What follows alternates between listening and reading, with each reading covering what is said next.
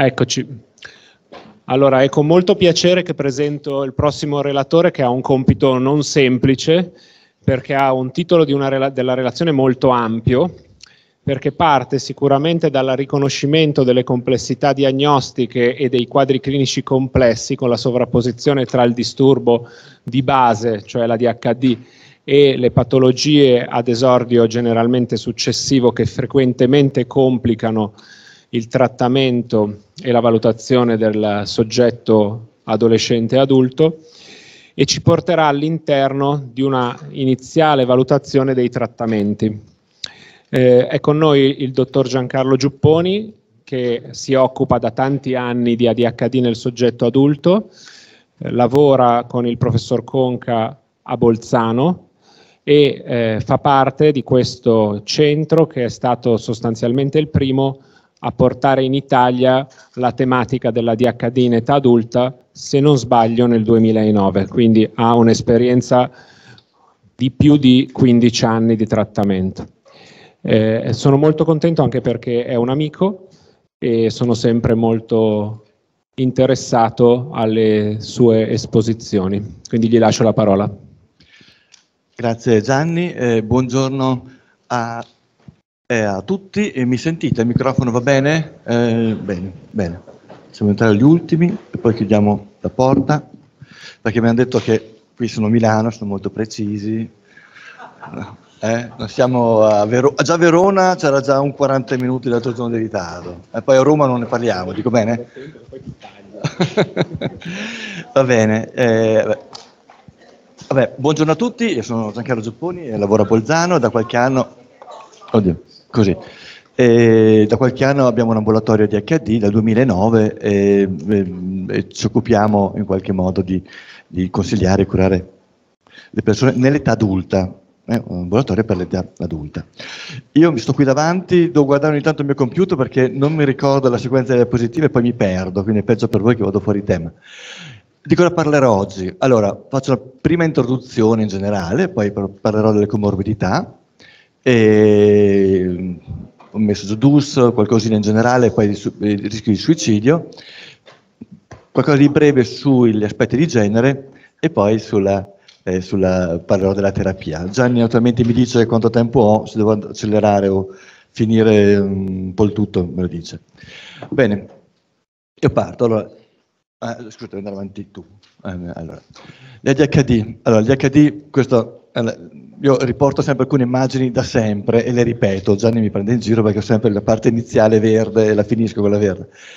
Um, allora, gli HD fa parte, quello semplice, dei disturbi dello sviluppo assieme all'autismo. Cos'è che ha di particolare? Eh, mm, dire, le persone che hanno ADHD sono persone intelligenti, simpatiche, attive, che hanno tantissime, come dire, ottime qualità, però però, a eh, vedere solo gli aspetti negativi, eh, però purtroppo spesso quando vengono queste persone si vede una chiara discrepanza tra quello che le loro qualità, le loro possibilità e quello poi che magari eh, combinano nella vita. Cose semplici per loro diventano complesse. Fa parte dello sviluppo, naturalmente l'autismo, sull'autismo vediamo, penso che il Corriere della Sera pubblica un articolo al giorno, l'autismo fa, parte della stessa classe di, eh, di, di disordini, eh, ha una prevalenza che è quasi un terzo rispetto a quella di HD. Eh, l'autismo secondo il DSM-5 ha 1 in percentuale, all'1,3 a 1,6 sugli americani, ma invece la DHD ha delle prevalenze che sono un po' più alte, anzi il doppio il triplo, sempre secondo gli stessi studi.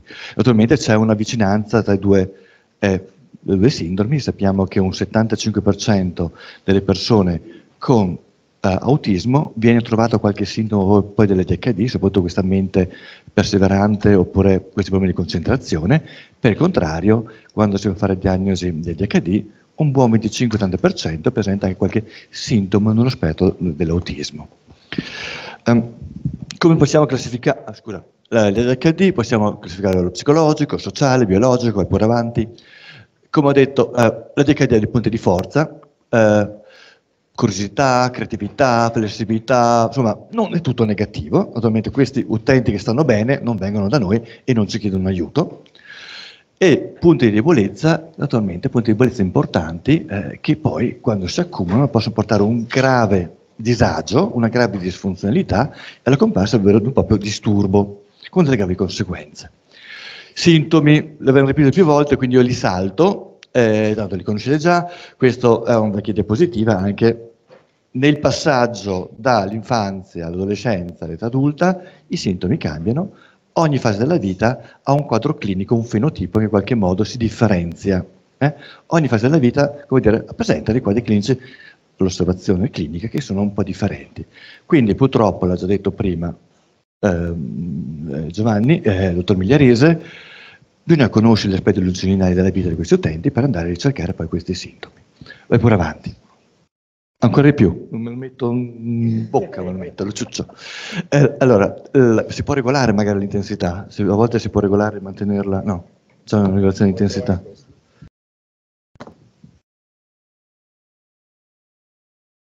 Va meglio con questo? Va meglio? Sì, sì, sì, sì, va bene, va bene. Eh, va bene. Allora, un problema che capita spesso, quindi lo dico sempre, è quello che si vede soprattutto nell'adulto, quando viene l'adulto a chiederci aiuto, si vede questo problema della organizzazione. C'è una persona che ha bellissime capacità, tantissime cose positive, però non riesce a funzionare. Giustamente Barclay ha detto un disturbo pragmatico dell'autoregolazione, cioè non funziona, eh? cioè, ha tutto, però non riesce a mettere in atto tutte queste capacità che lui ha. E vai pure avanti.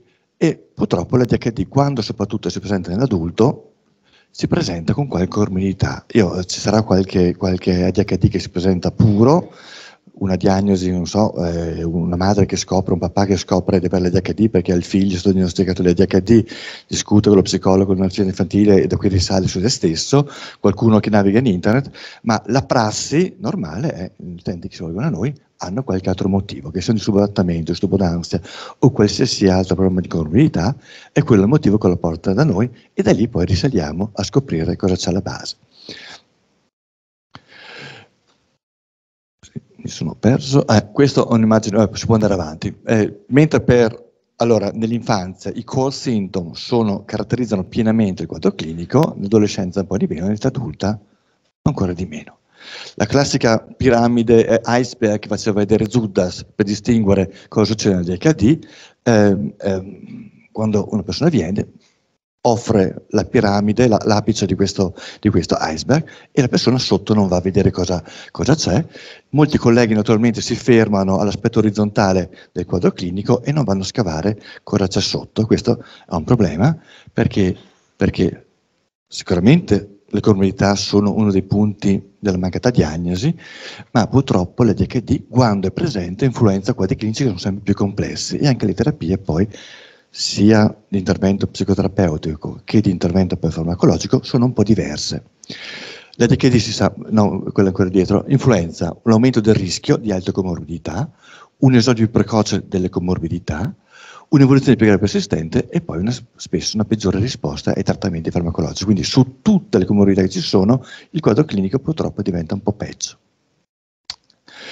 Questo è un vecchio studio di Kessler sul farmacopia americano, lo cito perché eh, più o meno eh, gli studi poi attuali dicono le stesse cose. Le comunità frequenti, disturbi d'ansia, fino al 50% delle persone con ADHD hanno un disturbo d'ansia, che viene diviso in rapporto alle sottoforme, disturbi affettivi anche, fino a un 40% ha un disturbo eh, in qualche modo affettivo, dipendenze anche, qui tenuto valori un po' più bassi, 15-20%, le percentuali sono maggiori, poi andremo a vedere, ma anche qui in questo caso c'è una forte presenza di, di, di questo problema, di un, di un disturbo dell'uso di sostanza. Questo studio più attuale è fatto nel 2020, eh, del 18 scusate, eh, questo studio dice sostanzialmente le stesse cose che ho detto prima, SUD, depressioni, subaffettivi, ansia sempre frequenti, indica però che c'è una grossa differenza tra maschio e femmina, anche se può essere sorprendere, il SUD è sicuramente il disturbo di sostanze più frequente nei maschietti, ma poi depressione, disturbi affettivi, ansia sembrano essere più frequenti nei campioni femminili con ADHD rispetto a, agli femminili, oltre poi alla presenza di disturbi T2, sono disturbi di diabete mellito di tipo 2, ipertensione, che anche sono più frequenti rispetto, rispetto alla popolazione generale.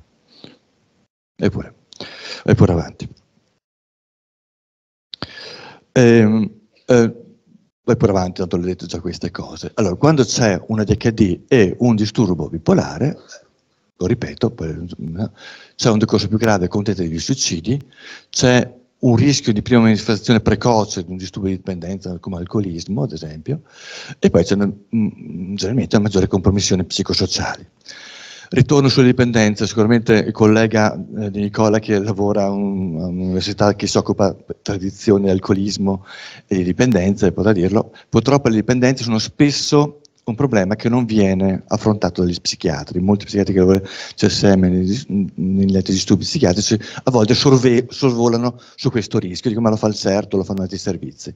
Purtroppo le dipendenze va sempre, quando viene un, un soggetto esplorato, i disturbi psichici sono hanno 2,7 quasi tre volte un rischio maggiore di sviluppare una dipendenza, un 7 quando c'è dipendenza, quando c'è dipendenza, un 7 volte il rischio aumento di una qualche comorbidità psichiatrica e anche sull'alcolismo ci sono dei dati molto, molto importanti. Quindi va sempre esplorato un, un, il problema di dipendenza quando si presenta una persona con qualsiasi diagnosi psichiatrica. Per quanto riguarda i DUS, invece, la DHT predispone ad un uso precoce del DUS, a una più alta tendenza ed una più alta variabilità nell'uso di sostanze. I, generalmente i pazienti con un DUS sono più giovani, nel caso della DHD, hanno un più esteso danno funzionale e uno di sostanze più grave. Eh, questo, vai per avanti, eh, questo avviene indipendentemente dalle comorbidità, cioè se sono comorbidità presenti, come un disturbo di personalità sociale, disturbo di personalità o altri disturbi, questo aumenta, aumenta, aggrava il quadro clinico, ma anche solo la DHD di per sé crea di per sé un rischio maggiore di avere un problema di DUS. Van um, ha cercato di differenziare questi percorsi ci sono vari studi che vanno a cercare di vedere quali traiettorie, dato quel fenotipo di ADHD che si presenta nell'infanzia, eh, una forma di attentiva, un'altra forma con, con, altri tratti, che percorso avrà? Ecco, sono studi, c'è qualche dato, ma non ci sono ancora dati così sicuri, quindi eh, comunque qualche, qualche, dato lo indica ancora, vai pure avanti. E, la, con la comorbidità con dipendenza è molto elevata, secondo la letteratura abbiamo studi che vanno dal 2 all'80%, quindi una variabilità molto importante.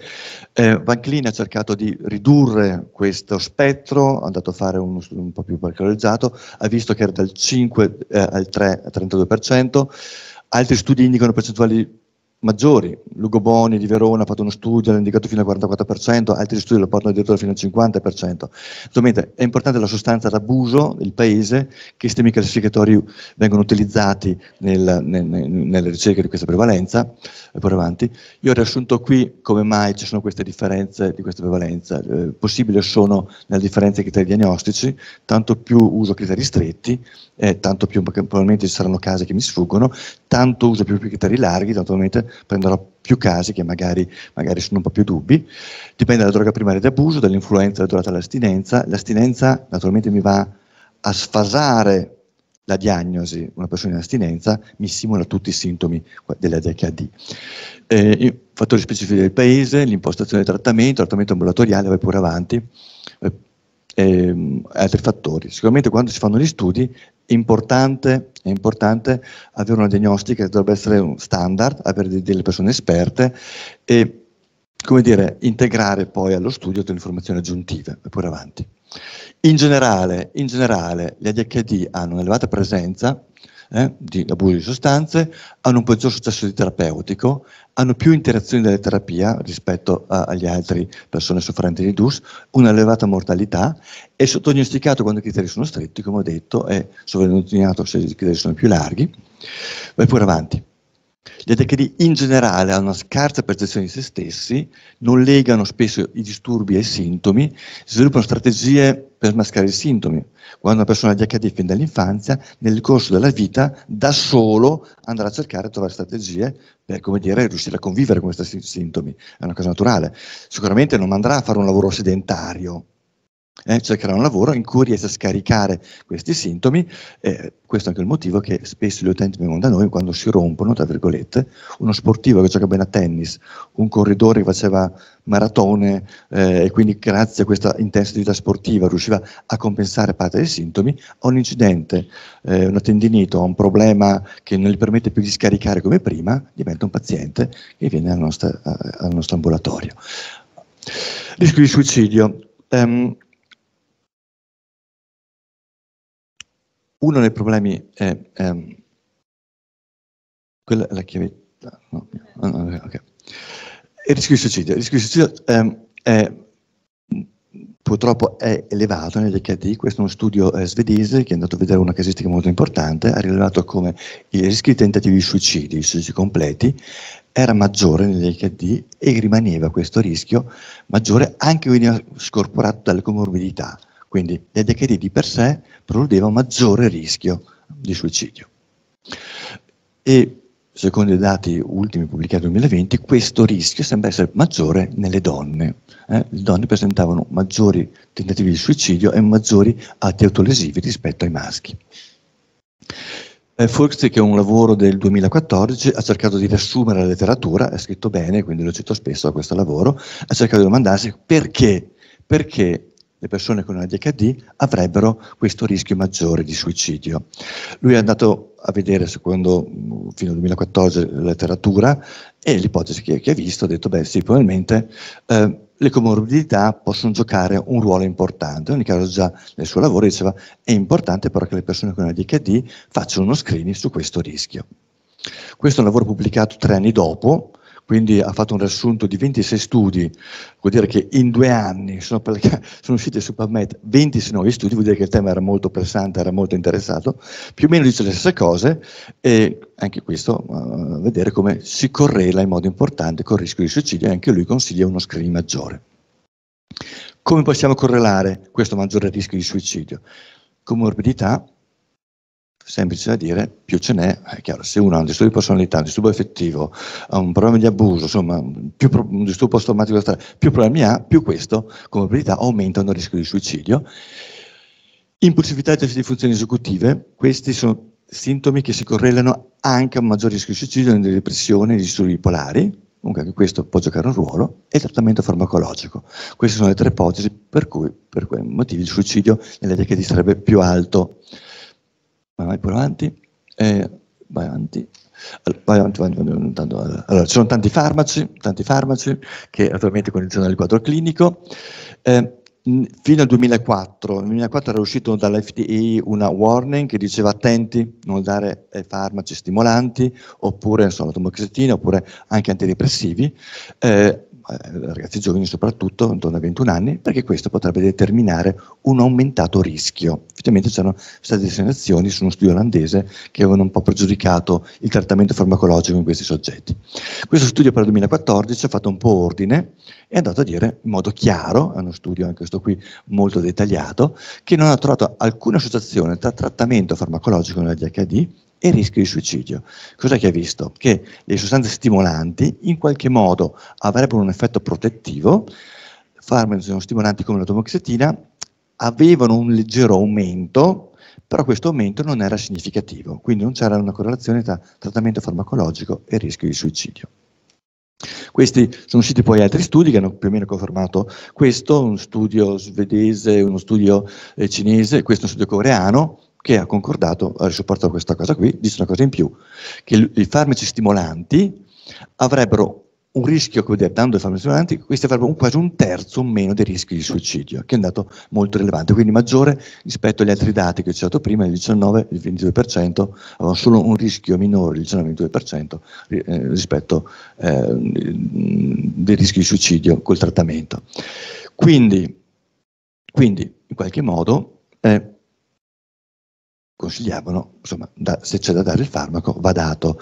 Qui cosa che diceva lo studio? Quando c'è, eh, la persona sta, sta poco bene, inizia un trattamento, i primi mesi di trattamento hanno un aumentato rischio, anche per questi soggetti, il rischio aumenta, però dopo tre mesi il rischio va diminuendo, quindi quando si, si imposta la persona a livello farmacologico, questo è un effetto stabilizzante e nei mesi a seguire questo rischio va diminuendo. Quindi il fattore protettivo è sui mesi successivi, non all'inizio, ma del resto è anche evidente, se uno sta male, sta male, è chiaro che lì c'è un, un, maggiore rischio. Va in trattamento, inizia trattamento, prima che il, il, il, trattamento farmacologico lo stabilizzi, passa, insomma, non è che subito un effetto subitaneo, ci vuole un po' di tempo.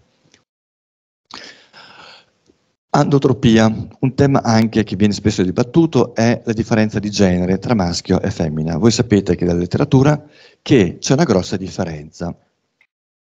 Quello che si vede è che tra bambini, vedere, eh, sono quasi spesso bambini maschi, tra bambine un rapporto 3-1, 4-1 eh, nell'infanzia. Questa differenza passando hm, l'adolescenza, l'età adulta e andando avanti con l'età, sembra sottigliarsi. Come mai?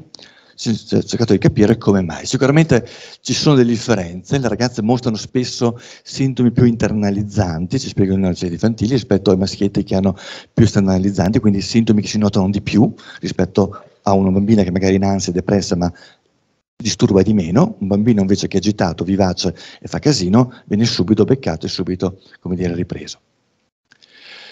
Um, vai pure avanti.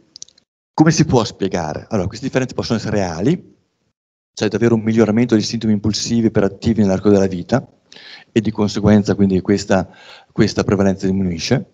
Dipende da una diversa presentazione clinica. Allora, i sintomi anche nel ICD-10 e DSM-5 erano dettagliati per i maschietti bimbi. Eh, purtroppo c'è spesso, eh, c'è una grossa discussione sui criteri clinici, soprattutto nell'adulto, che come dire, nell'adulto sono stati tradotti in qualche modo con eh, le caratteristiche dell'adulto e è stato fatto perché era, a livello, era difficile, eh, come dire, eh, delineare altri sintomi nell'adulto, aveva creato dei problemi nelle fasi di transizione, ma in ogni caso sembrano più aderenti a certi quadri clinici rispetto ad altri.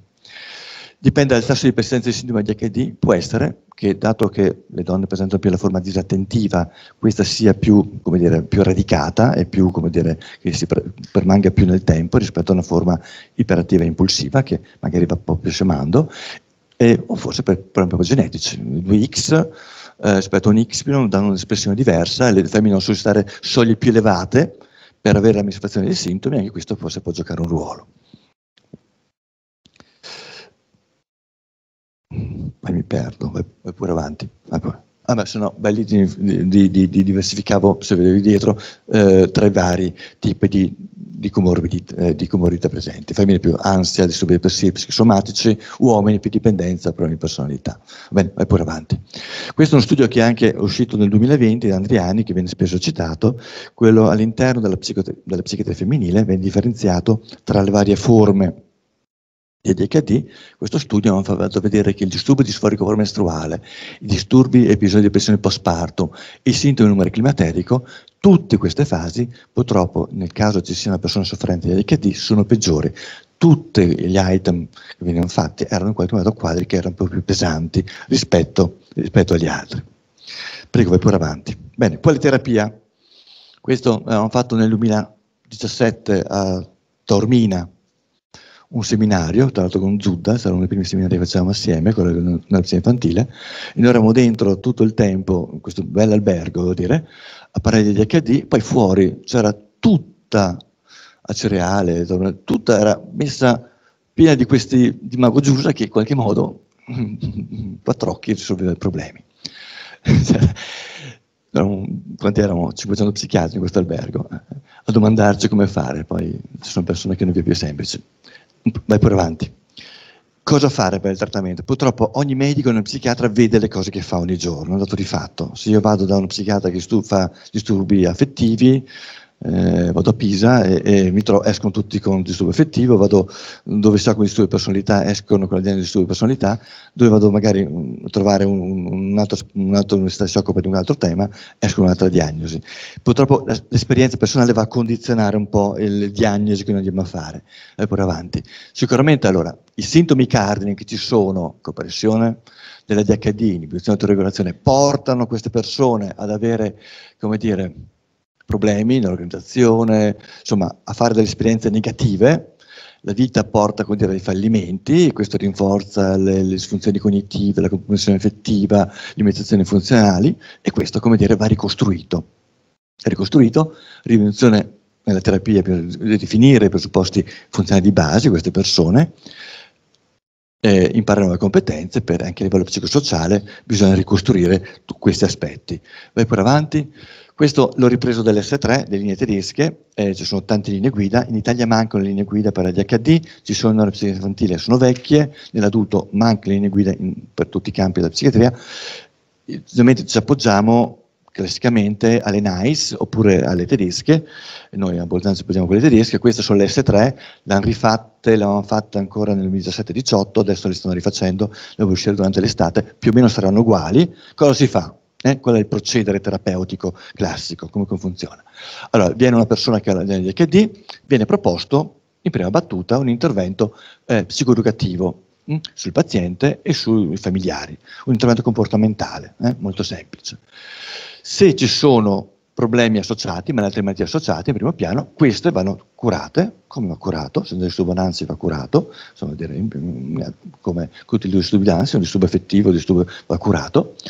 Se sta bene, si ci ferma qui, si continua così, se sentiamo sotto controllo non c'è bisogno di fare altro intervento. Non fosse che sotto controllo i sintomi, si propone un trattamento farmacologico, controllando gli, il dosaggio, gli effetti collaterali, la, la terapia, si vede se il trattamento è efficace ben tollerato, non funziona, se funziona si finisce qui, se non funziona, si aggiunge magari a livello comportamentale un altro intervento di gruppo oppure eh, una psicoterapia personale. Se basta così, va bene così, se no si rivede la terapia farmacologica. Rivede, quindi è un circolo, l'intervento generalmente funziona noi offriamo a Bolzano una terapia su quattro pilastri, ovviamente facciamo vedere il tempietto, viene spesso adesso Holz in giro a fare il nostro tempietto eh, sui vari quattro pilastri di intervento. Offriamo sicuramente gli interventi farmacologici, d'accordo, però eh, eh, psicoeducativi, eh, di gruppo e poi interventi psicosociali che anche questi sono importanti tramite una presa in carico. Vai pure avanti eh, tutte le terapie cognitivo-comportamentali sembrano avere dati di efficacia, adesso stanno facendo la Philips Cortese, che sono, mi sembra anche Barbui, hanno detto che fanno questa nuova meta-analisi sui, disturbi comportamentali, dovrebbero, dovrebbe uscire a breve. In ogni caso i dati attuali dicono che la terapia cognitivo-comportamentale, sia un gruppo di controllo, sia alla farmacoterapia, sia eh, rispetto a interventi non specifici, in qualche modo funziona funziona nel, nel, nella cura dell'ADHD. Tutte le linee guida, però, tutte le linee guida mondiali mettono nelle forme lievi sicuramente l'intervento psicoeducativo, ma quando il quadro si complica, no, anche le terapie farmacologiche, anche queste da affiancare poi il trattamento. Le NICE sono meno interventiste dal punto di vista farmacologico, le, le S3 sono un po' più interventiste, consiglio anche sulle forme lievi il trattamento farmacologico, ma tutte sono concorde nel dare dire, il farmaco. Farmaci ce ne sono tanti eh, in tutto il mondo, eh, in Italia purtroppo ne abbiamo di meno, abbiamo solo abbiamo un farmaco consentito in italiano che nell'adulto è lo Strattera, i metefenidati si possono dare solo in continuità terapeutica qualora sia stato registrato eh, in infanzia oppure deve essere dato eh, off-lab o in modo e pure avanti. È importante sempre però a, a, dire, associare, associare, anche un intervento psicoeducativo, eh? parlare, Cosa dice? Questo è, è Kugil che ha fatto questo studio, è piccolino eh, come esistica. Gianni eh, ha invitato, mi sembra il 25 no? maggio, fai una relazione con Kugil, tu a, a, Cagliari, no? da parte iniziale. Cosa dice questo studio di Kugil? Dice eh, eh, che non c'era una chiara correlazione. Allora, i farmaci mi vanno sui core symptom, vanno sui sintomi dell'attenzione, cioè io do il farmaco, do il metefenidato, e facciamo la prova, un paziente viene a me, mi risponde dice effettivamente stavo bene. Il nostro ergoterapeuta poi stimola l'utente, vediamo se è più o meno disattento, e stimolandolo proprio lui dice ma io ero più focalizzato. Cioè i, i farmaci stimolanti subito hanno subito un effetto su questo aspetto di problema di concentrazione. Questo è subitaneo, eh? dopo mezz'ora, un'ora già questo effetto. Però cosa che dice Kogel? Sì, hanno un effetto hanno un effetto sui call però per cambiare poi la funzionalità di questi utenti è importante in qualche modo fare anche un intervento educativo poi.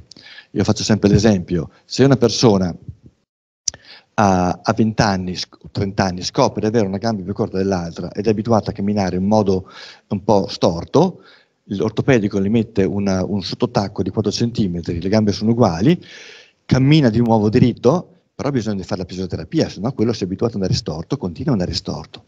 Quindi un intervento educativo è sempre importante, eh? non basta solo la terapia farmacologica, ci vuole anche un appoggio anche psicoterapeutico. L'effetto dell'ADHD è, è della terapia farmacologica è buono, questo è uno studio che ha fatto lo stesso autore Chang, che ha fatto lo studio eh, prima che ho fatto vedere eh, eh, coreano, dice che i farmaci hanno eh, a breve termine, su un anno, su lesioni e traumi, su incendi stradali, di istruzione, criminalità, cioè un effetto positivo su tutti i sintomi. Sul lungo periodo lungo, non abbiamo dati purtroppo, ma questo è un problema che mi la letteratura in generale, però in ogni caso vai pure avanti. Eh, hanno un chiaro effetto, vai pure avanti. Sul farmaci, adesso eh, questo è un studio spesso citati, dice che le anfetamine funzionano, almeno dati su breve tempi sono in ci sono, insomma, ci sono, uh, ci sono effetti collaterali, sicuramente le forme, i profarmaci, le forme retard sembrano essere ben efficaci, la disinfettamina purtroppo non c'è più in Italia, ma sembra essere molto efficace. Vai pure avanti, vai pure avanti, guarda, allora assumo sto qui lo studio di Cortese che ci stiamo di volta in volta, beh, se, se dico solo, vai pure avanti, faccio vedere solo l'ultima. Quello che dice che questo è citato in tutte le linee guida, eh, Devo dire, questo studio, eh, Cortese è un Veneto che lavora in Inghilterra sul tempo, c'erano dentro Barbui, c'erano dentro Cipriani, c'era dentro Tessari che è un collega mio che lavora con, cioè un sacco di italiani c'erano dentro, eppure questo studio fatto di italiani in Italia mi ha dato il farmaco. Allora, cosa che dice? Allora, prima scelta nei bambini, in Italia non viene dato il farmaco. Tanto lo studio fatto da italiani sia eh, scritto da italiani, citato in tutto il mondo, Italia non mi ha dato il farmaco, come dire, italiani hanno citato Cortese a dire guarda questo qua, e noi invece non c'è. Cosa? Sì, siamo il Cortese. Sì, vabbè, però in italiano, insomma, siamo orgogliosi da questo punto di vista. Gli altri sono italiani, Barbui in Italia eh, eh, e Tessari anche italiano. Vabbè. Cosa dice? Anfetamina, eh, prima scelta negli adulti, mentre il finidato nei bambini. Anche l'anfetamina era più efficacia nei bambini, solo che aveva un profilo di tolleranza e efficacia che era un po' sfavorevole. E quindi prima scelta rimane il metilfenidato, negli adulti invece rimane l'anfetamina, l'estoanfetamina, soprattutto eh, le, le, forme retard come prima scelta. Vabbè, avanti, questo qui lo saltiamo. Atomoxetina. Atomoxetina è un farmaco sostanzialmente non adrenergico, non so se lo conoscete, eh, così mi va, va uh, funziona come un antidepressivo, funziona generalmente dopo aver dato il primo dosaggio, dopo due mesi, ho utenti che lo sopportano bene e sono contenti, vanno avanti bene con questo farmaco, prenderlo privatamente costa, costa 80 euro, però essere iscritto nella pagina Alfa costa 2 euro, quindi con ricetta rossa ha un costo anche ugualmente eh, nullo. E, devo dire, è il farmaco però secondo le linee guida di seconda scelta, non di prima scelta, eh, non è il farmaco di prima scelta nell'adulto. Metilfenidato sicuramente nel bambino a prima scelta, eh, eh, noi lo usiamo come prima scelta nel, nel, nell'adulto, è un farmaco abbastanza maneggevole, eh, vabbè, saltiamo questo, andiamo avanti. Non le abbiamo le anfetamine in Italia, noi i pazienti li vediamo in Austria, in Germania dove ci sono, soprattutto la lista anfetamina, vai poi avanti, è un farmaco um, fantastico, funziona bene, è un profarmaco e sicuro ha un scarso rischio di abuso, quasi nullo. Eh, effetti, questi farmaci hanno dei chiari effetti eh, come dire, collaterali, ci sono, due, poi per avanti, due, su eh, tre aspetti sono importanti. Primo, allora, nella gravidanza eh, non c'è stata questo studio riporta che non c'è alcuna associazione tra metilfenidato e malformazioni in generale, però 1,65 queste madri che non hanno preso durante la gravidanza avevano un rischio di una malformazione a livello sottocardiaco del bambino. Quindi siamo, se donna in gravidanza siamo un po' più attenti nel darlo. Per quanto riguarda eh, eh, il, il, rischio di eh, infarto, gli ADHD hanno un rischio maggiore, chiaramente maggiore di ehm, dire, rischio cardiovascolare rispetto a non ADHD, quindi a prescindere che prenda terapia oppure no, soprattutto se è giovane, va fatto fare una visita, un ECG, una visita cardiologica viene sempre consigliata, perché statisticamente hanno un rischio maggiore di andare incontro a un evento cardiovascolare. Quindi questo va fatto sempre, questa meta-analisi dice questo. Poi per avanti? Però per fortuna i dati attuali dicono che se viene curato con i nostri farmaci, anche stimolanti, che purtroppo aumentano un po' la pressione, aumentano un po' il batterio cardiaco, questa meta-analisi dice che non c'è una correlazione, un, il rischio non aumenta. Meno i dati attuali dicono che il trattamento farmacologico non mi aumenta un rischio di un evento cardiovascolare negativo. Italia e farmaco, disastro, vai pure avanti, qui eh, la prefazione l'ha fatta Stacconi dicendo che quanto viene meno prescritto, eh, la prefazione ha fatto adesso il libro, insomma. Eh, allora, se in paesi europei si arriva a una prescrizione del 2-5% della popolazione prende metilfenidato, qui arriviamo a, a, un millesimo, un dieci millesimo, quanto siamo come, come percentuali? Vuol dire che noi curiamo, loro curano altre cose, noi curiamo questa cosa. E poi avanti. Nuove molecole, vabbè, non ci sono neanche quelle attuali, le possiamo utilizzare, sicuramente però ci sono degli studi attuali. Io ho portato solo la viloxazina, che è un farmaco noradrenergico, che dovrebbe uscire, già è uscito negli Stati Uniti, dovrebbe arrivare anche in Germania e in Austria. È simile all'ottomoxetina, quindi nulla, nulla, nulla di, di, di, di nulla, non c'è un grande cambiamento probabilmente. Vai poi avanti. Naturalmente il trattamento va sempre inquadrato. I farmaci danno una mano, però quando una persona viene va, uno va corretta, che ne so, l'abitudine alimentare, va, anche se sembra banale, eh, però lo dico a tutti gli utenti che vengono da me, fare attività fisica è terapeutico, punto. Una persona ADHD che fa tanta attività fisica riesce a scaricare parte delle tensioni interne, quindi a tutti, se può farlo, viene consigliato di aumentare l'attività fisica. Questo funziona. Il sonno anche va curato, va anche cercato di regolarizzare il sonno perché curando questi aspetti abbiamo già un grande miglioramento e dare solo farmaco a un paziente e poi non andare a curare questi aspetti qua non va bene, eh? fa sì che poi il farmaco anche non funzioni. Allora, un minuto? Due dico. Allora, il trattamento ha un effetto? Sì, ha un effetto. Eh, hanno un effetto solo dopo molte settimane e sul lungo periodo non ci sono dati, vai pure avanti. Eh, Um, sul programmi di abuso ha un buon effetto, non mi va sul craving, eh, non è che mi toglia questo, questo, questo, questa impellenza, però se mi stabilizza l'utente il rischio poi questa fazione di sostanze stupefacenti mi riduce. In ogni caso, dato che la DHD dura tutta la vita, va veramente è conosciuto la DHD su tutte le fasi della vita, perché che una fase infanzia, adolescenza, 20 anni, 30, 40, 50, avranno una, un quadro clinico, un fenodico che sarà diverso. Ultimo, mm, vabbè, io ho finito, eh, vi, vi, ricordo solo tre cose, eh, la nostra applicazione sul noi facciamo un progetto sulla prevenzione del suicidio, la depressione e abbiamo una nostra applicazione gratuita, se qualcuno lo vuole utilizzare basta che ci contatti. Eh, è uscito il nostro libro, abbiamo due eventi, primo, come ha detto la collega, primo, il primo aprile vostro, poi c'è quello dell'Ericsson il 22 aprile e noi rimaniamo sempre volentieri in contatto anche attraverso la GAM per eventuali informazioni. Io vi ringrazio dell'attenzione e spero di essere stato chiaro, aver dato qualcosina in più nelle vostre conoscenze. Grazie.